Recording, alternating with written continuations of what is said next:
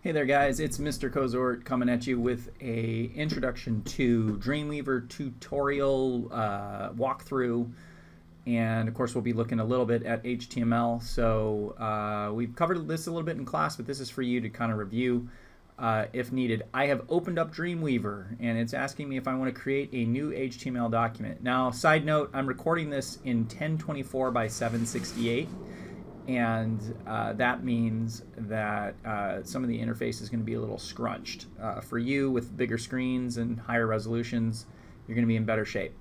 Uh, so things may look a little different, just be aware of that. I'm going to go here to HTML document, and it's going to come up with options. Um, I want to make sure none is selected. Uh, document title is uh, my web page. You can make that more or less whatever you want. Uh, we are going to stick with HTML5 and we're not going to play with templates yet or anything like that. Again, here in Dreamweaver, I'm going to go ahead and create that. Um, depending on how you last quit out of Dreamweaver, things may look a little different here. Um, if the Bootstrap update comes up, just say remind me in four days. We're not doing that right now. Um, I've currently got mine in split mode. Uh, we're usually going to be working in code mode, so uh, go ahead and use that. And as you open up a new HTML5 document here in Dreamweaver, uh, you'll notice that you've already got some pre-made lines that you didn't have to type yourself. Uh, someday you may have to type these yourself, so it's always good to uh, memorize them. But uh, some of this we've already gone over a little bit in class. Uh, the doctype.html, or rather space HTML, has got this exclamation point in the front. All this means is HTML5. Um, and as a side note, if you want to comment in uh, your HTML, there is a special way to do that. It's going to be this, these two characters, and then dash dash. Uh, and then here's a comment, and then dash dash, and we close it up with that greater than less than symbol opening and closing. So this comment is a, a, line or a piece of code that doesn't run. It's there only for people looking at the code. The people who see the web page will not see that.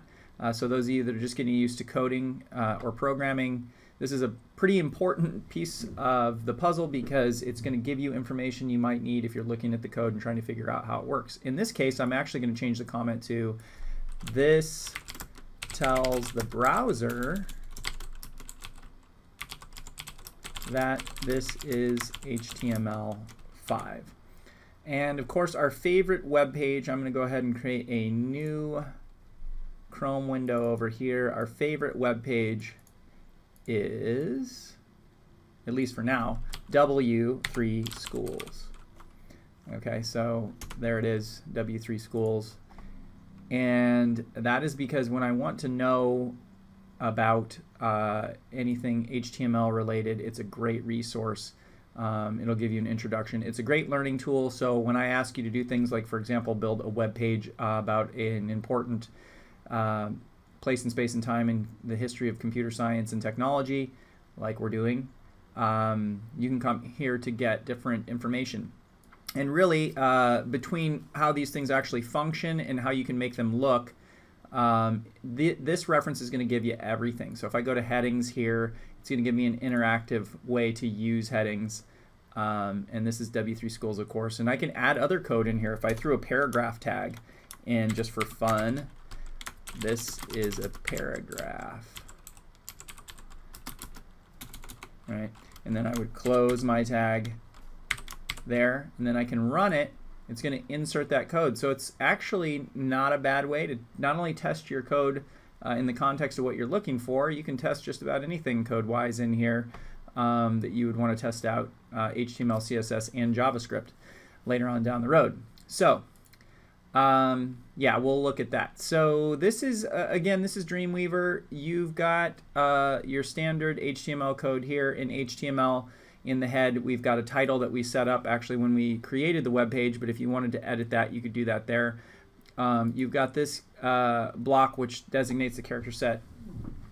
Um, an important block of code, but not something we're really going to cover uh, today. And then you'll notice that um, you have a body down here. And the body is going to be anything uh, that you see. And so, uh, for example, if I put a heading in here, I say welcome and I close the tag. So I open and close it. Uh, and then I come up here and I say File and Preview in Browser, which my default browser is set to Google Chrome there. Then I'm going to save this as index.html. What I'll ask you to do later on is save that in a folder, uh, specifically somewhere other than your desktop. But you can see now I'm previewing this in Chrome and uh, it says welcome, which isn't all that exciting. Uh, one thing to note about tags, they can be arranged that way or this way. Usually you wouldn't want to arrange them this way because I just increased the line of code by three, right, by uh, two extra lines. So if I preview this, I'm going to go ahead and hit F12 there to preview it, it looks the same, but if I inspect the code, the code itself, of course, is different. See, there it is, looking different. Um, and I'm inspecting this, of course, in Chrome.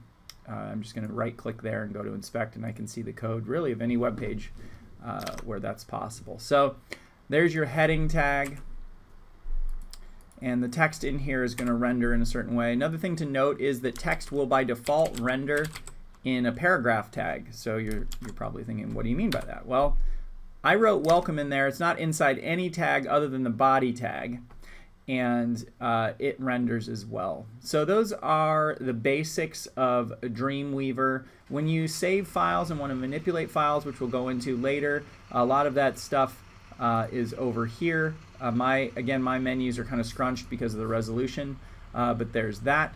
And again, there's uh, again a reintroduction of Dreamweaver.